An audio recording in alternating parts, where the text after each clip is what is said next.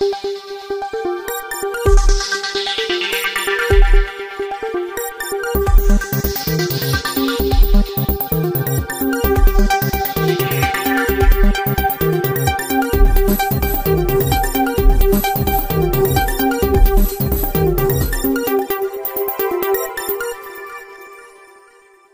নমস্কার দর্শক বন্ধু, শুভ সকাল। আপনার মো চ্যানেল কু স্বাগত জনাওছি আজ মু আপনার পাখক কিছু বছা বছা গুরুত্বপূর্ণ খবর গুড়িক নেইকরি আসছি ভিডিওটি শেষ পর্যন্ত দেখুন চ্যানেল নূয়া করে আসলে চ্যানেলটিকে এবে সবসক্রাইব করে পাখে আসা বেল আইকন কু প্রেস করে রাখুন চালু আজ খবর উপরে নজর পকাইবা আজ প্রথম খবর institute of banking personnel selection পক্ষর এক বড় নিযুক্তি সুযোগ আসিছি আঞ্চলিক গ্রাম্য ব্যাঙ্করে କ୍ଲର୍କ ପ୍ରୋବେସନାରୀ ଅଫିସର ପଦରେ ପ୍ରାର୍ଥୀଙ୍କୁ ନିଯୁକ୍ତି ମିଳିବ।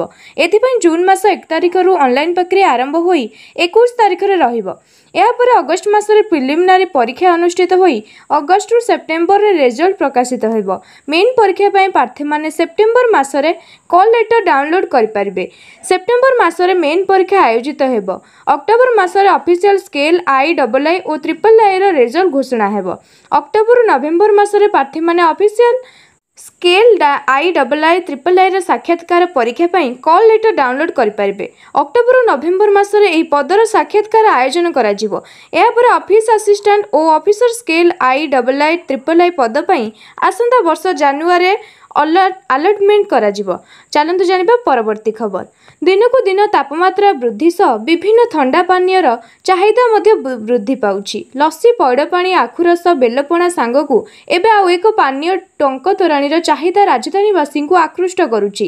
ଟଙ୍କ ତୋରାଣୀକୁ ନେଇ ରାଜଧାନୀର ଯୁବଗୋଷ୍ଠୀ ଆରମ୍ଭ କରିଛନ୍ତି ଷ୍ଟାର୍ଟଅପ୍ ପୂର୍ବରୁ ଶ୍ରୀମନ୍ଦିର ପରିସରରେ ମିଳୁଥିବା ଟଙ୍କ ତୋରାଣୀ ପିଇବାକୁ ସମସ୍ତଙ୍କ ମଧ୍ୟରେ ଆଗ୍ରହ ରହିଥିବା ବେଳେ ଏବେ ରାଜଧାନୀ ବଜାରରେ ଏହାର ଉପଲବ୍ଧତା ବେଶ୍ ଉତ୍ସାହ ସୃଷ୍ଟି କରିଛି।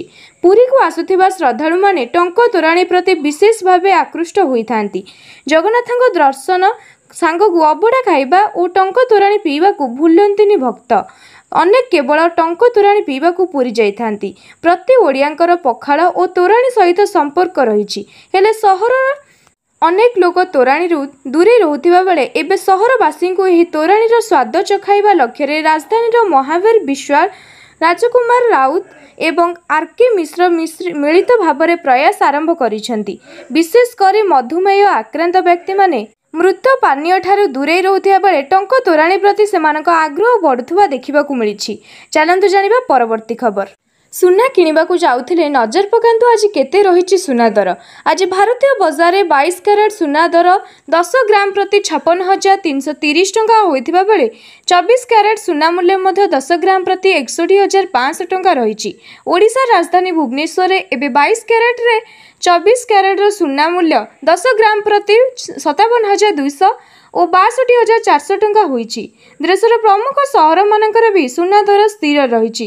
ମୁମ୍ବାଇରେ ବାଇଶ କ୍ୟାରେଟ୍ ଓ ଚବିଶ କ୍ୟାରେଟ୍ ସୁନା ମୂଲ୍ୟ ସତାବନ ହଜାର ଦୁଇଶହ ଟଙ୍କା ଓ ବାଷଠି ହଜାର ଚାରିଶହ ଟଙ୍କା ଥିବା ରେକର୍ଡ ହୋଇଥିବା ବେଳେ ନୂଆଦିଲ୍ଲୀରେ ଏହି ଦର ଯଥାକ୍ରମେ ସତାବନ ହଜାର ତିନିଶହ ପଚାଶ ଟଙ୍କା ଓ ବାଷଠି ହଜାର ପାଞ୍ଚଶହ ପଚାଶ ଟଙ୍କା ରହିଛି। ଚାଲନ୍ତୁ ଜାଣିବା ପରବର୍ତ୍ତୀ ଖବର। କୃଷକ ଉତ୍ପାଦକ ସଂଗଠନ ଲାଗି କ୍ୟାବିନେଟ୍ ମଞ୍ଜୁର କଲା ଏକତିରିଶ ଲକ୍ଷ ଏକଷଠି କୋଟି ଆଜି ବସିଥିବା ରାଜ୍ୟ କ୍ୟାବିନେଟ୍ର ବୈଠକରେ କୃଷକ ଉତ୍ସାହକ ସଂଗଠନ ଲାଗି ପାଞ୍ଚ ବର୍ଷ ପାଇଁ ତିନିଶହ ଏକତିରିଶ ପଏଣ୍ଟ ଛଅ ଏକ କୋଟି ମଞ୍ଜୁର କରାଯାଇଛି। ଦୁଇହଜାର ତେଇଶରୁ ଚବିଶ ଆର୍ଥିକ ବର୍ଷରୁ ଦୁଇହଜାର ସତେଇଶରୁ ଅଠେଇଶ ବର୍ଷ ଆର୍ଥିକ ବର୍ଷ ମଧ୍ୟରେ ଏହି ଅର୍ଥ କୃଷକ ଉତ୍ପାଦନ ସଂଗଠନକୁ ସହାୟତା ଭାବେ ମିଳିବ। କ୍ଷୁଦ୍ର ଓ ନାମମାତ୍ର ଚାଷୀଙ୍କୁ ସହାୟତା ସହ ଭିତ୍ତିଭୂମି ବିକାଶରେ ସହଯୋଗ ଲାଗି କୃଷକ ଉତ୍ପାଦକ ସଂଗଠନ କାମ କରିବ। ଆଗାମୀ ପାଞ୍ଚ ବର୍ଷରେ ଏକ ହଜାରରୁ ଅଧିକ କୃଷକ ଉତ୍ପାଦକ ସଂଗଠନ ତିନି ଲକ୍ଷରୁ ଅଧିକ ଚାଷୀଙ୍କୁ ସହାୟତା କରିବା ଦିଗରେ ଏହି ଯୋଜନା କରାଯାଉଛି। ଏହାଦ୍ୱାରା ଚାଷୀ ସେମାନଙ୍କ ଉତ୍ପାଦିତ ଖାଦ୍ୟଶସ୍ୟରୁ ଉଚିତ ମୂଲ୍ୟରେ ବିକ୍ରି କରିବା ସହ ଅଧିକ ଆୟ କରିପାରିବେ ବୋଲି ଆଶା କରାଯାଉଛି। ଚାଲନ୍ତୁ ଜାଣିବା ପରବର୍ତ୍ତୀ ଖବର। ଗତ ଆଠ ବର୍ଷ ମଧ୍ୟରେ ଦେଶର ଲକ୍ଷାଧିକ କ୍ଷୁଦ୍ର ଓ ମଧ୍ୟମ ବର୍ଗର ଉଦ୍ୟୋଗୀମାନେ ଉନ୍ନତି କରିଥିବା ବେଳେ ଦେଶର ଅର୍ଥନୀତି ଓ ମଧ୍ୟ ପ୍ରମୁଖ ଯୋଗଦାନ ହାସଲ କରିଥିବା ଅର୍ଥମନ୍ତ୍ରୀ ନିର୍ମଳା ସୀତାରମଣ ମତ ପ୍ରକାଶ କରିଛନ୍ତି। ବିଶେଷ କରି ଉକ୍ତ ଯୋଜନାର ଅଷ୍ଟମ ବାର୍ଷିକ ପୂର୍ତ୍ତି ଉତ୍ସବ ଉପଲକ୍ଷେ ଶନିବାର ଅର୍ଥ ମନ୍ତ୍ରାଳୟ ପକ୍ଷରୁ ଆୟୋଜିତ ଏକ ସ୍ୱତନ୍ତ୍ର କାର୍ଯ୍ୟକ୍ରମରେ ଯୋଗଦେଇ ଅର୍ଥମନ୍ତ୍ରୀ କହିଥିଲେ ଦୁଇହଜାର ତେଇଶ ମାର୍ଚ୍ଚ ଚବିଶରେ ମଧ୍ୟରେ ଦେଶର ବ୍ୟାଙ୍କିଂ ଓ ଫାଇନାନ୍ସିଆଲ ସଂସ୍ଥା ଦ୍ୱାରା ପ୍ରାୟ ଏକଚାଳିଶ ଲକ୍ଷ ହିତାଧିକାରୀଙ୍କୁ ତେଇଶ ଲକ୍ଷ କୋଟି ଟଙ୍କାରୁ ଅଧିକ ପରିମାଣର ଆର୍ଥିକ ସହାୟତା ଯୋଗାଇ ଦିଆଯାଉଛି। ଅପରପକ୍ଷରେ ପ୍ରଧାନମନ୍ତ୍ରୀ ମୁଦ୍ରା ଯୋଜନାରେ ତେଇଶ ପଏଣ୍ଟ ଦୁଇ ଲକ୍ଷ କୋଟିରୁ ଅଧିକ ଟଙ୍କାର ଦେଶର ଚାଳିଶ ପଏଣ୍ଟ ଆଠ ଦୁଇ ଲକ୍ଷ ହିତାଧିକାରୀଙ୍କୁ ବିଭିନ୍ନ ଆର୍ଥିକ ସଂସ୍ଥା ଦ୍ୱାରା ଋଣ ମଞ୍ଜୁର କରାଯାଇଛି ବୋଲି ଅର୍ଥ ମନ୍ତ୍ରାଳୟ ପକ୍ଷରୁ କୁହାଯାଇଛି।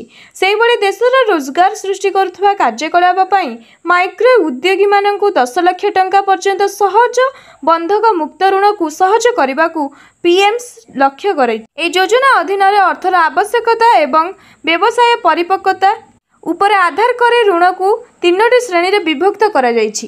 ଚାଲନ୍ତୁ ଜାଣିବା ପରବର୍ତ୍ତୀ ଖବର। ସୁକନ୍ୟା ସମୃଦ୍ଧି ଯୋଜନା କେନ୍ଦ୍ର ସରକାରଙ୍କ ତରଫରୁ ଲାଗୁ ରହିଥିବା ଏକ ବଢ଼ିଆ ସ୍କିମ୍ ଯାହା ଖାସ୍ କରି ଝିଅମାନଙ୍କ ପାଇଁ ତିଆରି କରାଯାଇଛି ଯାହାଦ୍ୱାରା ସେମାନଙ୍କ ଭବିଷ୍ୟତକୁ ସୁରକ୍ଷା ଦିଆହେବ। ଏହା ମଧ୍ୟରେ ଅନେକ ଲିମିଟ୍ ରହିଛି ଯାହା ଅନ୍ତର୍ଗତ ଆପଣ ନିଜ ସୁବିଧା ଅନୁଯାୟୀ ଟଙ୍କା ଡିପୋଜିଟ୍ କରି ଲାଭବାନ ହୋଇପାରିବେ ଯଦି ଆପଣ ବି ନିଜ ନିଜ ଝିଅର ଭବିଷ୍ୟତକୁ ସୁରକ୍ଷିତ ରଖିବାକୁ ଚାହୁଁଛନ୍ତି ତେବେ ଏହି ଯୋଜନା ସବୁଠୁ ବେଷ୍ଟ ରହିବ। ପାଠ ପଢ଼ାଠୁ ଆରମ୍ଭ କରି ବିବାହ ପର୍ଯ୍ୟନ୍ତ ସବୁ ଚିନ୍ତାକୁ ଦୂର କରିବ ଏହି ସ୍କିମ୍ ଏହି ଖାସ୍ ସ୍କିମ୍ରେ ଆପଣଙ୍କ ଝିଅକୁ ଏକୋଇଶ ବର୍ଷ ପରେ ଲକ୍ଷାଧିକ ଟଙ୍କା ମିଳିବ। ତେବେ ଏଥିରେ ଆପଣଙ୍କୁ ବେଶୀ କିଛି କରିବାକୁ ପଡ଼ିବ ନାହିଁ। କେବଳ ପ୍ରତିଦିନ କିଛି ଟଙ୍କା ଡିପୋଜିଟ୍ କରିବାକୁ ପଡ଼ିବ। ସୁକନ୍ୟା ସମୃଦ୍ଧି ଯୋଜନା ଏକ ଲମ୍ବା ଅବଧି ସ୍କିମ୍। ଯେଉଁଥିରେ ଆପଣ ନିବେଶ କରି ଆପଣ ଝିଅଙ୍କୁ ବଢ଼ାଇ ପଢ଼ାଇ ପାରିବେ ଓ ତା'ର ଭବିଷ୍ୟତକୁ ସୁରକ୍ଷିତ କରିପାରିବେ। ଏଥିରେ ବେଶୀ ଟଙ୍କା ଦେବାକୁ ହେବ ନାହିଁ। ତେବେ ଏଥିରେ ଟାଇମ୍ ଲିମିଟ୍କୁ ନେଇ ସ୍କିମ୍ ରହିଛି। ଏକୋଇଶ ବର୍ଷ ପାଇଁ ସ୍କିମ୍ରେ କିଛି ନିର୍ଦ୍ଦିଷ୍ଟ ଟଙ୍କା ଲିମିଟ୍କୁ ସେଟ୍ କରାଯାଇଛି। ଏ ସରକାର ମଧ୍ୟ ଏହି ସ୍କିମ୍ର ସୁଧ ଦର ଏବେ ଛଅ ସାତରୁ ଛଅ ପ୍ରତିଶତ ଆଉ ଆଠ ପରସେଣ୍ଟରୁ କୁ ବୃଦ୍ଧି କରିଛନ୍ତି ଚାଲନ୍ତୁ ଜାଣିବା ପରବର୍ତ୍ତୀ ଖବର କୋଟି କୋଟି ଗରିବଙ୍କୁ ମାଗଣାରେ ସ୍ୱାସ୍ଥ୍ୟ ସେବା ଯୋଗାଇ ଦେବାକୁ ଆୟୁଷ୍ମାନ ଭାରତ ସ୍କିମ୍ର ଏବଂ ନବକଳେବର ଆସିବ ଆୟୁଷ୍ମାନ ଭାରତ ଦୁଇ ପଏଣ୍ଟ ଶୂନ ଚାଳିଶ କୋଟି ମଧ୍ୟମ ଆୟ ବର୍ଗର ଲୋକଙ୍କୁ ଏଥିରେ ବର୍ଷକୁ ପାଞ୍ଚ ଲକ୍ଷ ଟଙ୍କାର ସ୍ୱାସ୍ଥ୍ୟ ବୀମା ଯୋଗାଇ ଦିଆଯିବ। ଯଦିଓ ଏ ବାବଦରେ ମୋଦି ସରକାର ଚୂଡ଼ାନ୍ତ ନିଷ୍ପତ୍ତି ନେଇନଥାନ୍ତି ଦୁଇହଜାର ଚବିଶ ପୂର୍ବରୁ ପୂର୍ବରୁ ଏହା ବାସ୍ତବ ରୂପ ନେବା ସମ୍ଭବ ହୋଇଛି। ଏଥିପାଇଁ ଖୁବ୍ ଶୀଘ୍ର ଏକ ଚିଠା ନୀତି ଆରମ୍ଭ ହୋଇପାରେ। କେନ୍ଦ୍ର ସରକାରଙ୍କ ଥିଙ୍କ ଟ୍ୟାଙ୍କ ନୀତି ଆୟୋଗ ଏବଂ ସ୍ୱାସ୍ଥ୍ୟ ମନ୍ତ୍ରାଳୟ ମିଳିତ ଭାବେ ଆୟୁଷ୍ମାନ ଭାରତ ଦୁଇ ପଏଣ୍ଟ ଶୂନ ଉପରେ ଜୋରଦାର ପ୍ରସ୍ତୁତି ଚଳାଉଛନ୍ତି। ଏହି ପ୍ରସ୍ତାବ ପ୍ରସ୍ତାବିତ ଯୋଜନାର ବିଭିନ୍ନ ଦିଗ ଉପରେ ବରିଷ୍ଠ ଅଧିକାରୀମାନେ ମାନସ ମନ୍ଥନ କରୁଛନ୍ତି। ବୃହତ୍ ସ୍କିମ୍ରେ ହେବାକୁ ଥିବା ଖର୍ଚ୍ଚ ଏବଂ ସରକାରଙ୍କ ରାଜକୋଷ ଉପରେ ପଡ଼ିବାକୁ ଥିବା ଏହାର ପ୍ରଭାବ ଆଦିକୁ ତର୍ଜମା କରାଯାଇଛି। ଏମିତିକି ଏହାର କାର୍ଯ୍ୟକାରିତା ନେଇ ରହିଥିବା ସମ୍ଭାବ୍ୟ ଆହ୍ୱାନଗୁଡ଼ିକୁ ମଧ୍ୟ ଉପରେ ବିଚାର ବିମର୍ଶ ଚାଲିଛି। ଚାଲନ୍ତୁ ଜାଣିବା ପରବର୍ତ୍ତୀ ଖବର। ଆଜି ମିଳିବ କାଳିଆ ଟଙ୍କା। ଆଜି ଚାଷୀଙ୍କ ଆକାଉଣ୍ଟକୁ ଯିବ କାଳିଆ ଟଙ୍କା। ତେୟାଳିଶ ଲକ୍ଷରୁ ଉର୍ଦ୍ଧ୍ୱ କ୍ଷୁଦ୍ର ନାମମାତ୍ର ଓ ଭୂମିହୀନ ଚାଷୀଙ୍କୁ ମିଳିବ କାଳିଆ ସହାୟତା। ମୋଟ ଆଠଶହ ସତାଅଶୀ କୋଟି ଟଙ୍କା କାଳିଆ ସହାୟତା ଚାଷୀଙ୍କ ଆକାଉଣ୍ଟକୁ ଯିବ। ଝାରସୁଗୁଡ଼ାରେ ନିର୍ବାଚନ ଆଚରଣ ବିଧି ଲାଗୁ ହୋଇଥିବାରୁ ସେଠାକାର ଚାଷୀଙ୍କୁ ଏବେ ସହାୟତା ମିଳିବନି। ଦୁଇହଜାର ଅଠର ଡିସେମ୍ବର ମାସରେ ରାଜ୍ୟର ଚାଷୀମାନଙ୍କ କଲ୍ୟାଣ ନିମନ୍ତେ ମୁଖ୍ୟମନ୍ତ୍ରୀ କାଳିଆ ଯୋଜନା ପ୍ରଚଳନ କରିଥିଲେ। ଏହି ଯୋଜନାର ପ୍ରତିବର୍ଷ ହିତାଧିକାରୀମାନଙ୍କୁ ଦୁଇଟି ପର୍ଯ୍ୟାୟରେ ଚାରି ହଜାର ଟଙ୍କା ଆର୍ଥିକ ସହାୟତା ପ୍ରଦାନ କରାଯାଇଛି। ରାଜ୍ୟ ବଜେଟ୍ରେ ଏଥିପାଇଁ ସ୍ୱତନ୍ତ୍ର ବ୍ୟୟ ବରାଦ କରାଯାଇଛି। ରାଜ୍ୟର ଚଉଦ ଲକ୍ଷ ଭୂମିହୀନ କୃଷି ଶ୍ରମିକ ଓ ତେପନ ଲକ୍ଷ ଚାଷୀଙ୍କୁ ଆର୍ଥିକ ସହାୟତା ପାଇଁ ଯୋଜନା ହୋଇଛି। ଏହି ଅର୍ଥରାଶି ସିଧାସଳଖ ହିତାଧିକାରୀଙ୍କ ବ୍ୟାଙ୍କ ଖାତାରେ ଜମା କରାଯାଉଛି। ଚାଲନ୍ତୁ ଜାଣିବା ପରବର୍ତ୍ତୀ ଖବର। ପିଏମ୍ କିଷାନ ଯୋଜନାକୁ ନେଇ ଏକ ବଡ଼ ଖବର ଘୋଷଣା କରାଯାଇଛି।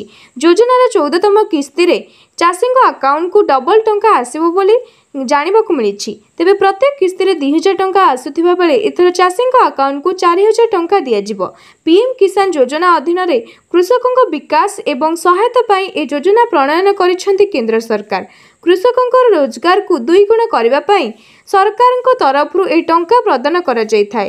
ଅନେକ କୃଷକ ନିଜ ଭେରିଫିକେସନ୍ ପ୍ରୋସେସ୍ ପୂରା କରିନପାରିଥିଲେ ସେଥିପାଇଁ ସେମାନଙ୍କ ଆକାଉଣ୍ଟକୁ ତେରତମ କିସ୍ତି ଆସିପାରିନଥିଲା କିନ୍ତୁ ଏବେ ଅଧିକାଂଶ ଚାଷୀଙ୍କର ଭେରିଫିକେସନ୍ ଶେଷ ହୋଇଛି ତେଣୁ ଏଥର ଚଉଦତମ କିସ୍ତିରେ ସରକାରଙ୍କ ତରଫରୁ ଦୁଇ ହଜାର ଟଙ୍କା ବଦଳରେ ଚାରି ହଜାର ଟଙ୍କା ଟ୍ରାନ୍ସଫର କରିବେ ତେରତମ କିସ୍ତି ପାଇନଥିବା ଚାଷୀମାନେ ମଧ୍ୟ ଏଥିରେ ସେମାନଙ୍କ ଟଙ୍କା ପାଇପାରିବେ ଦେଶର କୋଟି କୋଟି କୃଷକଙ୍କ ଆକାଉଣ୍ଟକୁ ତେରଟି କିସ୍ତିରେ ଟଙ୍କା ଦିଆ ସରିଥିବା ବେଳେ ଏବେ ଚଉଦତମ କିସ୍ତିକୁ ଅପେକ୍ଷା ରହିଛି।